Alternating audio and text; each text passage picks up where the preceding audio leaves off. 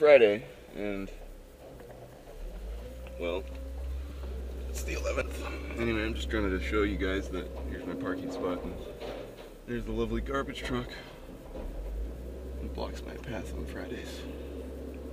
It's kind of annoying. Anyway, that's a little sneak preview.